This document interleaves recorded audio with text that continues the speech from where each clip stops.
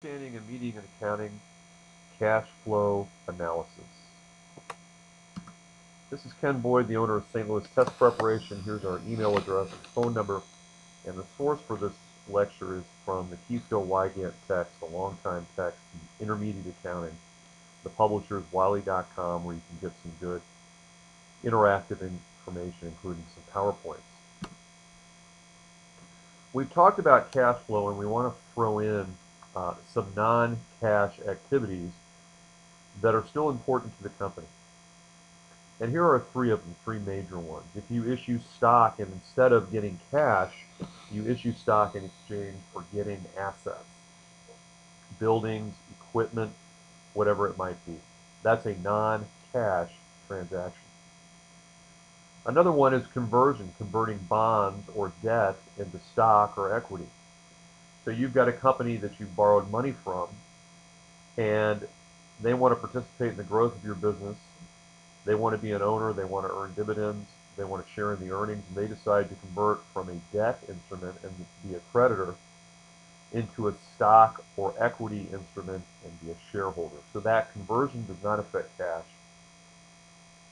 but it also is an important change in your business. And finally, an exchange of long-lived assets. So maybe you exchange a building for a piece of equipment with someone. You're exchanging one asset for another. Well, that doesn't affect cash, but it's an important change in your business.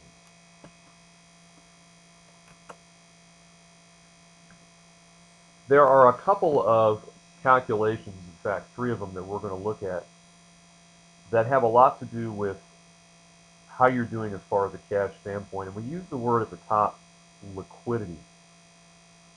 And the first ratio here is current cash debt coverage ratio, which is a mouthful to say, but what we're saying is, let's look at net cash from operating activities, which if you remember from the cash flow statement, operating activities is the one at the top of the page. We're going to divide that cash amount by average current liabilities, and what we're getting is the answer to the question. Can you pay current liabilities from current, and this should say operating cash flow? Can you pay your current liabilities with your operating, I'm going to abbreviate operating cash flow. I'm going to save that change. And now I want to flip over to Excel, and I want to talk about how this might look on paper.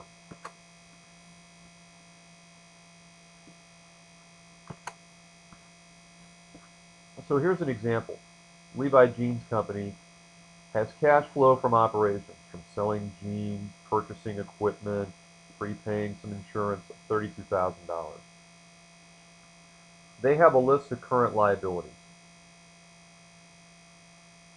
And current liabilities are those that you have to pay in a year or less. So you think about it, accounts payable is just general bills that you owe. You've got to pay people payroll on the next payroll cycle that you owe them. You've got some income tax payments that you need to send in. And then the current portion of long-term debt. When you look at your long-term debt, you're thinking, how much do I have to pay over the next month, three months, less than a year, and it adds up to $50,000. So I want to give everybody a feel for what current liabilities means. Let's take an average. Let's look at current liabilities at the beginning of the year. Let's look at it at the end of the year and take an average. So those are current liabilities are upcoming payments that you need to make in the next year.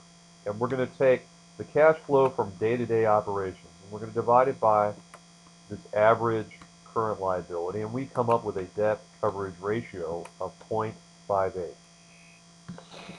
And I say right below it that 1.1 is considered good. You want to have enough cash flow being generated from your day-to-day -day operations to cover what's coming up in the checkbook over the next year. That's what we mean by that ratio. The next one's slightly different. Cash debt coverage ratio, and this looks at net cash from operating activities compared with total liabilities, not just your current liabilities, but the long-term debt. The question you're answering from this ratio is, can you pay all your upcoming liabilities based on operating, and I'm operating cash flow. Flipping back to Excel, here's our cash flow from operations. I made it a bigger number this time.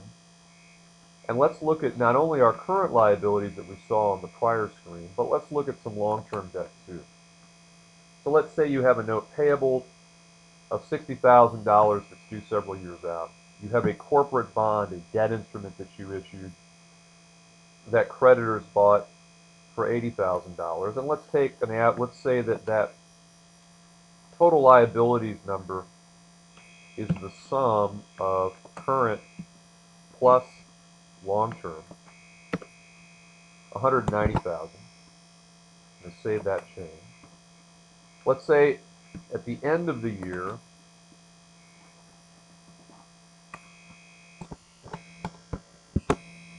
that number was 126,000. We're going to take an average of our total liabilities of 158,000. And we look at our cash flow from operating activities and the average total liabilities we have outstanding, and we say it's a 2.2 to 1 ratio. That's good. What that says to the business owner is, I'm generating enough cash so that not only I can pay not only current liabilities, but long-term liabilities too. The last ratio I want to talk about is called free cash flow. A little bit different. Again, we start like we did with the two others, with net cash from operations, but we're going to subtract off some other upcoming payments. The first is capital expenditures. You're going to buy vehicles, equipment, buildings, whatever it might be. Think of any sort of long-lived asset, something that you're going to use over a period of years. We consider that a capital expenditure. We're going to subtract dividends, payments that you make to shareholders out of profits. And whatever's left we call free cash flow, and generally we use it for one of three purposes.